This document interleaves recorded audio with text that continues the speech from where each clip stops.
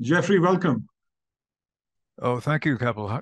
Great to be here, and, and thank, thank you, you and, and and Vinit for the overly generous words of introduction at the start. Uh, I'm I'm really honored uh, to be part of this. So thank you so much. So thank you, Jeffrey. Genuinely, we're honored. Your experience is going to be vital for an industry which is just begun just begun to make some strategic changes in, in, in its influence and the industry structure. So we welcome you. Thank you very much for joining. My first question would be to you is that given your extensive experience across the critical areas of policymaking, I, I like to start in conversations like this by going back to first principles. Uh, and forgive me if it seems overly, overly simplistic, but the, the first question I'd ask is what is the purpose of aviation policy, of any country's aviation policy? I think we all know that it is to grow the economy, to provide mobility to citizens, to uh, provide business with the access it needs to supplies and to meetings and so forth, to bring tourism in, um, really to enhance the, the overall wherewithal of a country to continue to grow and succeed. It, it, it genuinely contributes to prosperity, both domestic and international. But of course, that's not the only purpose of aviation policy. Aviation policy has to also be directed at the quality of the aviation sector itself right? You want to have healthy airlines, and that's that's a struggle that uh, the United States has gone through, and India India has gone through. We we've tried to open our open our doors to maximum competition, and we discovered that um, uh, competition can come with a price.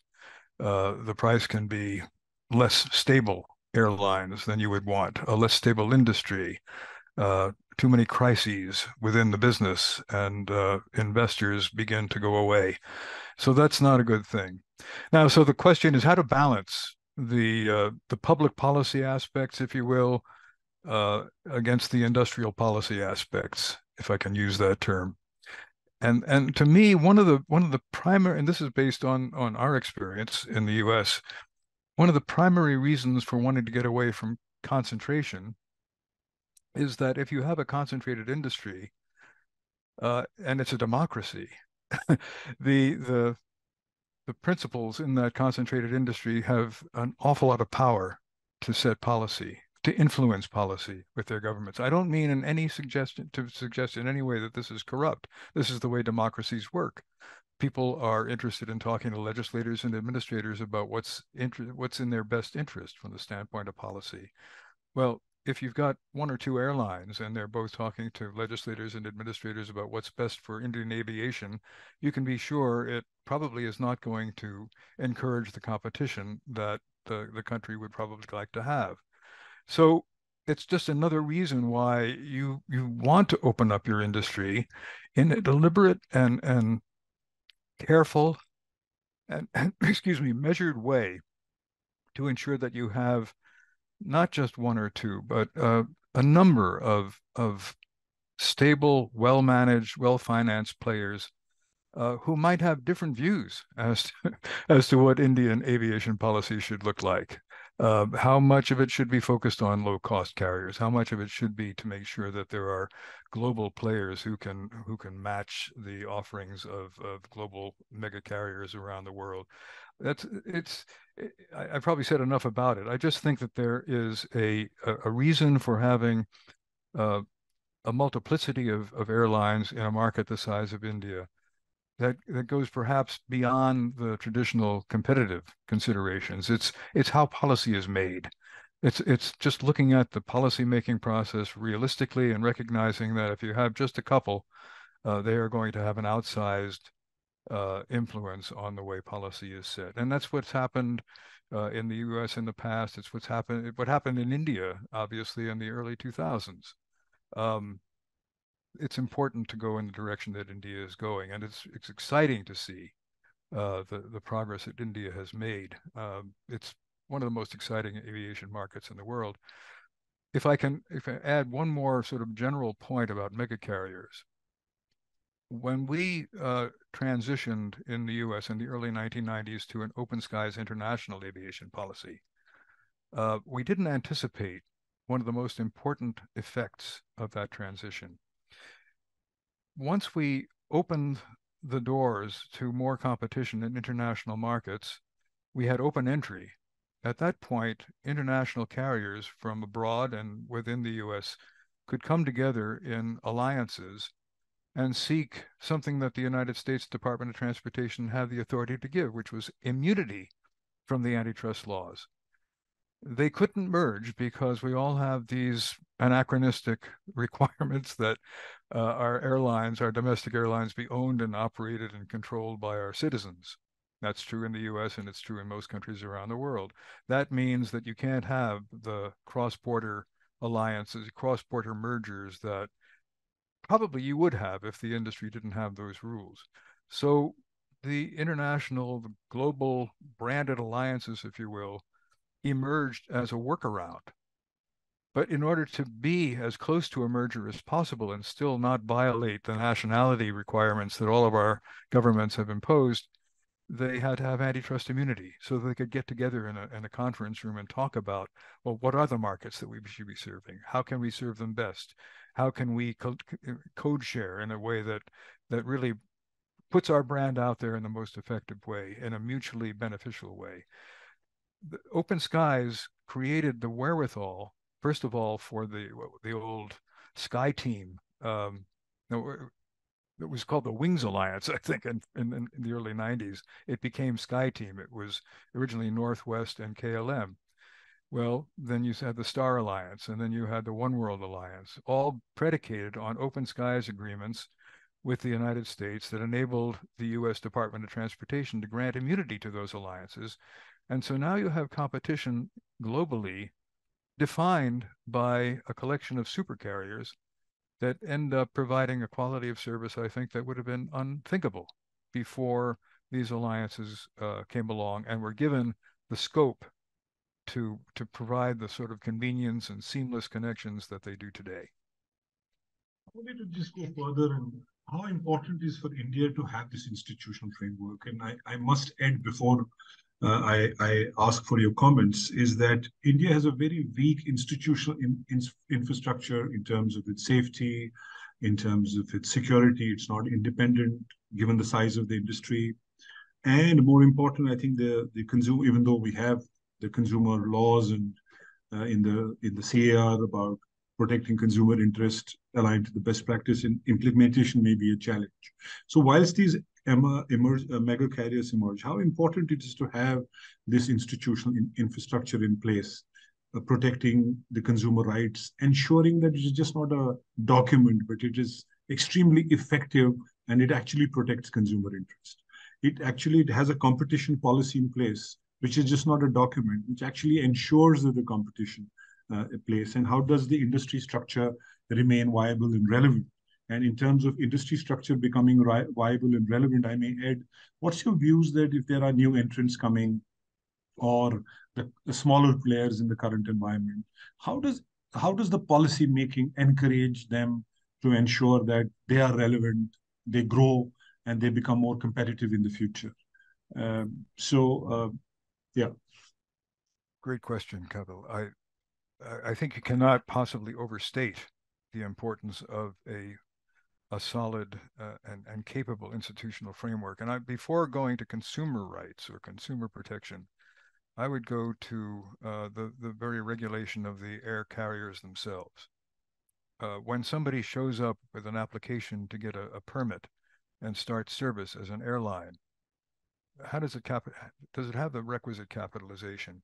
Are there rules within India that define what requisite capitalization is? What about managerial fitness? have the people that are running this airline ever run an airline before? Do they have any idea what the challenges are? Rule obeying. I mean, do they have a record of complying with regulations? Because it's a highly regulated industry from the standpoint of safety and the standpoint of infrastructure. So if if you don't have that, and I'm not commenting on what India has because frankly I'm not entirely up to date on on the current state of the Indian CAA. But if you don't have the wherewithal to ensure that people entering the market can stay in the market, can actually provide that competitive challenge to the incumbents, then all you're doing is you're setting yourself up for for more of what's happened in the past. You have people that come in, they they aren't making money, so they immediately drop fares. They destroy the market. You can always charge low fares if you don't care about profitability. But unfortunately, uh, your competitors will be forced to match you if they want to maintain some some semblance of market share. And the net result is that the entire industry becomes non-competitive and it becomes unstable as a result. That's not a good thing. Um, we're, we're having right now, you can look in the United States, we have uh, ultra low cost carriers. We have one of them, Spirit Air, trying to merge with JetBlue, which is a more conventional. It's a competitive carrier. It's not a mega carrier, but uh, it isn't what we call an ultra low cost carrier. The Justice Department has decided that there is too much concentration in the industry, apparently. That's what they're saying. And therefore, they're suing to block the merger of JetBlue and the ultra low cost carrier Spirit. From my perspective, I would have thought that if you're worried about the concentration among mega carriers, you've said that they're, uh, they, they have almost 70% of the market wouldn't you want the prospect of another one to, to challenge those mega carriers in a much more effective way, more effectively than JetBlue can by itself, or certainly that, that Spirit can by itself. And yet we we have this this this concern about whether or not consumers will have access to the lowest prices in the market today, which might be spirits. The problem is that if you really look what passengers pay to get on a Spirit flight, they probably pay a lot more than the spoken fare, but the, the, the fare that's advertised because they're paying separately for bags, they're paying separately for food, they're paying separately for a whole variety of amenities. That's because of the unbundling that has made the business so interesting in the U.S. So I, I think it's important um, to, to maintain some semblance of what it is that you're trying to achieve. If you're trying to achieve a stable market with meaningful competition, even among mega carriers, you can't necessarily just try to preserve the, the lowest cost competitor against all odds. It's not probably going to last very long in any event. To Add to this question, uh, Jeffrey, um, how would you advise Indian company, Indian regulator, if you were to advise them that there are new carriers who are very small, there will be new incumbents, and I'm, I'm the view that one or two are in the process of coming and, and becoming operational in about FY26, if not in FY21. But there's this issue that slots, peak slots are, are challenging. Getting an access at peak slots is an issue. Getting, let's say, parking bays at, at key airports, which are very concentrated, is a challenge. And there are multiple other factors. How does the institutional inf infrastructure, if it is to promote competition, how does it ensure whether it is market access issues, whether it has slots issues, extra, extra, extra? How does it, from a policy making structure, uh, you know, uh, guardrail them, ring fence them, so that there is effective competition actually in place?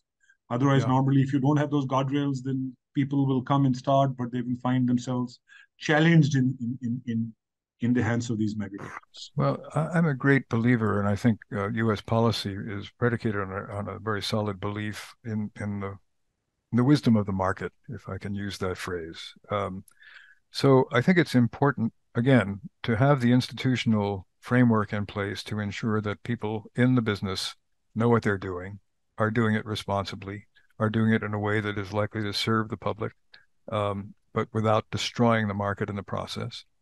Uh, but I wouldn't overstate the importance of guardrails. I think what, what's really important for government is to make sure that the market has capacity, that airports can uh, accommodate more flights than they're currently accommodating. Uh, even even in the United States, uh, because of the limitation in airport capacity that we've been experiencing, as I think Stuti said in her presentation, the Justice Department has required the divestiture of slots in order to approve certain combinations of carriers to ensure that the bringing two carriers together doesn't totally wipe out the prospect of competition at particular airports that those two carriers may be serving head to head. That's an important thing to do. And uh, similarly, expanding airport capacity just with more investment in airports. I think the privatization of airports in India is a dramatic a dramatic uh, development which uh, holds enormous promise for the for the future of uh, aviation in India. It's very exciting. but Much more going on in India, I would say, on that front than in the U.S. Certainly, um, more of that is needed. But it, again, investors will be encouraged to invest in airport capacity if they know that the government is willing to allow more entrants to come into the market in a way that will enhance the competition that's available to consumers and enhance the quality of of of the services that are provided by everybody. I mean, one of the most important things I think you said, Kapil, in your presentation was uh, toward the end that the addition of new entrants will be good for the mega carriers. I couldn't put it better than that. I mean, it's absolutely right. It keeps them on their toes. It makes sure that they are continuing to serve the public in the in the best way that they can. Uh, continuing to innovate themselves. They will have more capacity to innovate because they have more, they have deeper pockets probably than some of the new newer guys that come in.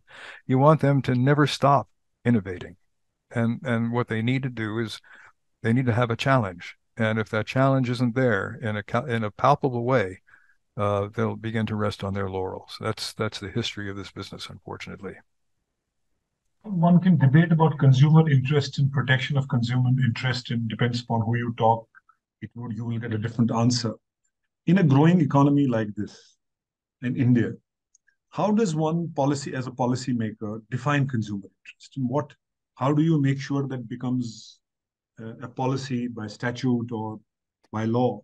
Because I think if you go and assess uh, the market, different surveys and different research can give you that yes, consumer interest is protected.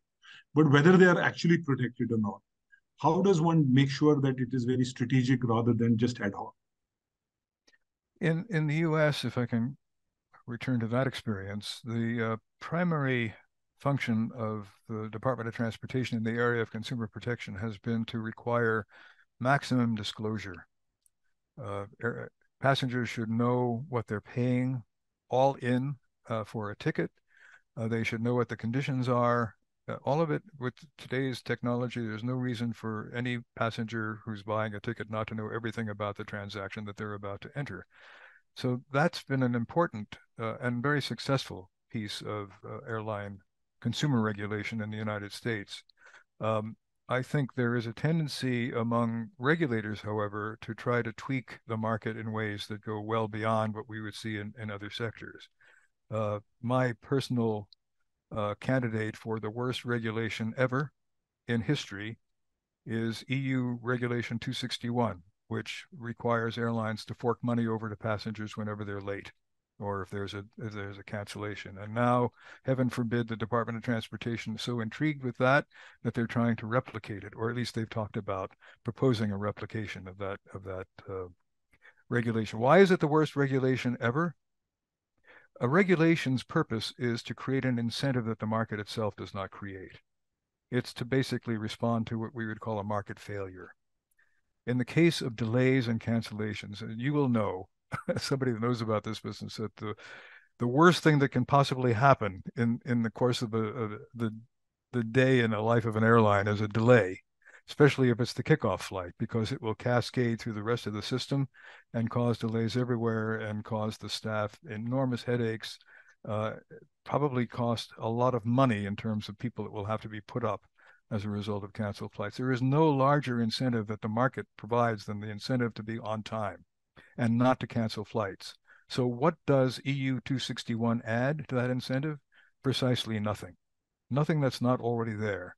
It merely piles on and requires that in addition, in addition to the cost of the delay itself uh, and all the inconvenience, that there now be cash handed over to consumers as a consolation prize. That that to me, I understand that passengers love getting those checks after they've been inconvenienced. It's a nice, it's a nice little reward for all the inconvenience you suffered, but it doesn't do a thing that the that the regulation is designed to do. It has not increased or decreased uh, the incentive. It, ha- it, hasn't increased the incentive. It hasn't dis- decreased the number of cancellations.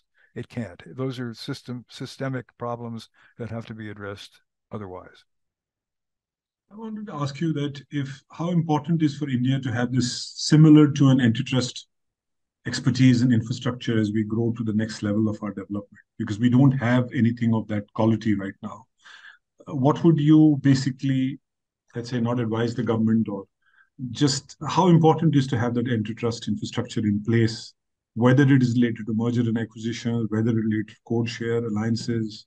How important is that that institutional infrastructure is housed within the policy making.